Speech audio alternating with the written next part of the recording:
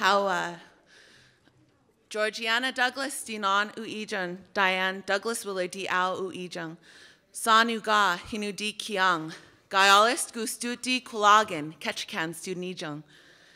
My grandmother was Georgiana Douglas, and my mother is Diane Douglas Willard.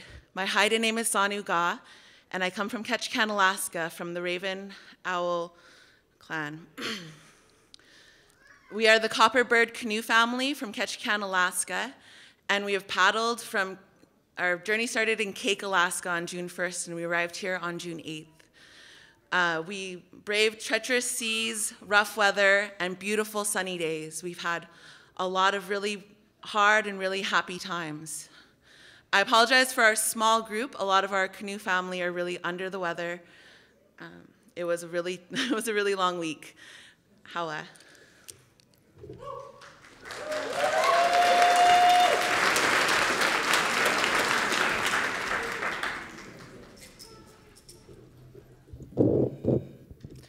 Haralases, Chuskan, Hinudi Kiaang, Gailgus Udi Kolagan.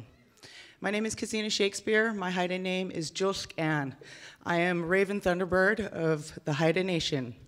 The song that we did is our outside song. It is our coming into the house song. The, the song that we entered in is the Tired Paddler song from Hydaburg, Alaska. Uh, the next song that we are going to do is also from Hydaburg, Alaska. It's our Raven song. This is an invitational. If any Ravens out there would like to come and dance with us, please do. Hawa.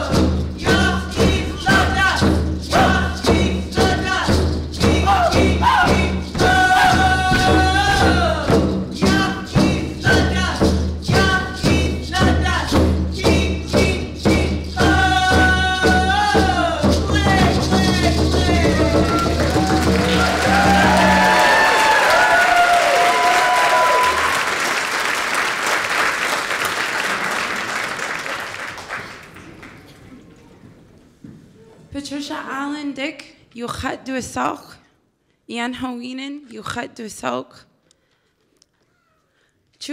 Ayachat, Ach Ish Hashluk Nakhari. My name is Patricia Allen. My Mohawk name is Ian Hawinen. I am from the Tlingit, Mohawk, Seneca, and Arawak Caribbean nations. My father is Sluk Nakhari, Koho Raven. I am Chukanadi, Glacier Bear Eagle.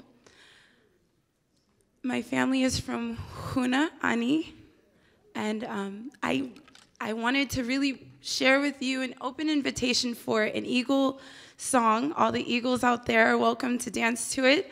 We wanted to acknowledge some people who have influenced and encouraged us to continue the traditions of canoeing. My cousin Jana and I actually met each other canoeing um, and we didn't know that we were related until our first canoe journey together in Washington. I currently live in Washington. I just graduated from the University of Washington, but I live in Seattle. Gonna. And so there were some people who were very influential on our healing, on our journey on the canoe, and sharing with us many lessons and great teachings on how to be a really good paddler, how to be in a canoe family, how to be in a family. And so, one of the people who really encouraged us and has really made an influence that has recently passed on, taken a walk in the woods, his name is Justin Finkbonner. He's from the Lummi Nation. He was a huge part of some of the activism and some of the rights of our sovereignty up here in Alaska. He organized a lot of the shell no protests to keep the Arctic drilling from going up into coastal Alaska.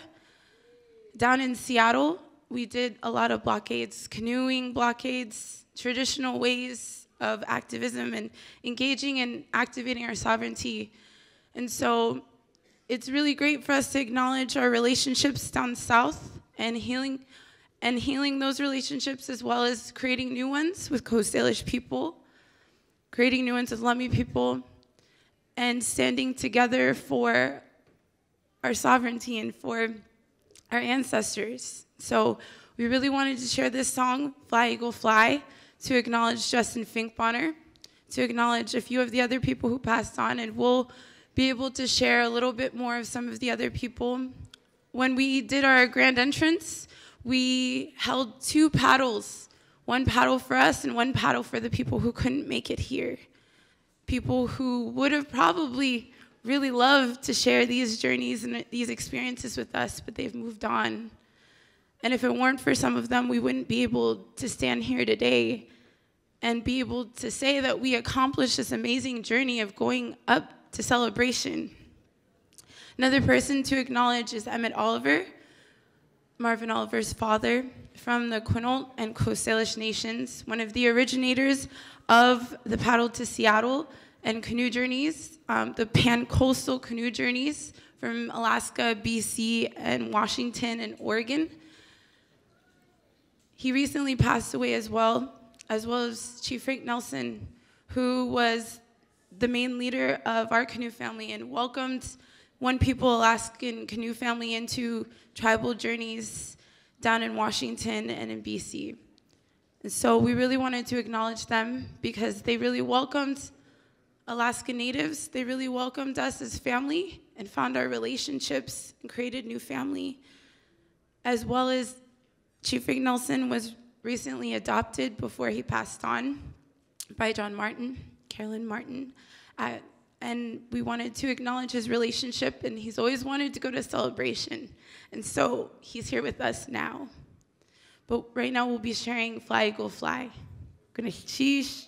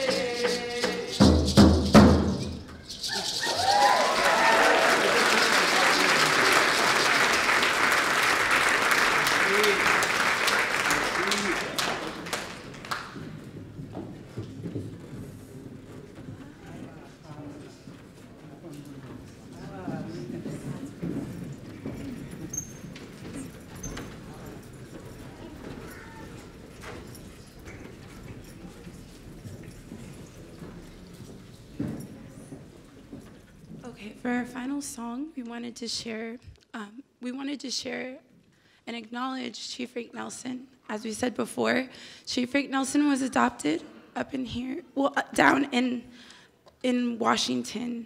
But the last time we saw Chief Rick Nelson was in, on our way to Bella Bella. La about two years ago, we had the honor of paddling to Bella Bella for canoe journeys. We paddled about two and a half weeks, roughed it out, sometimes stayed on the boat, the safety boat, and the canoe, and on the beach for that whole time. Really had a really amazing traditional experience.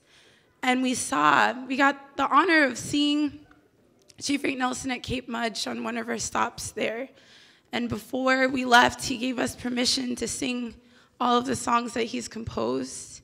And they're very beautiful songs. And so we really hope that you enjoy that. We really hope that you share that experience and learn some of the teachings of some of those relationships with the Kwakwaka'wakw communities on Kingcome as well as Alert Bay.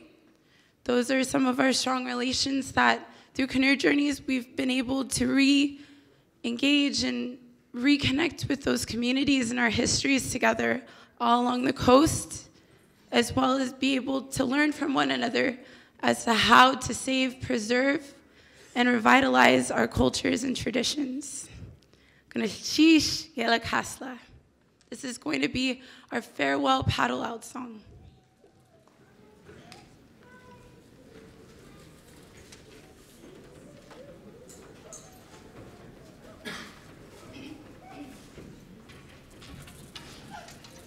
Yeah.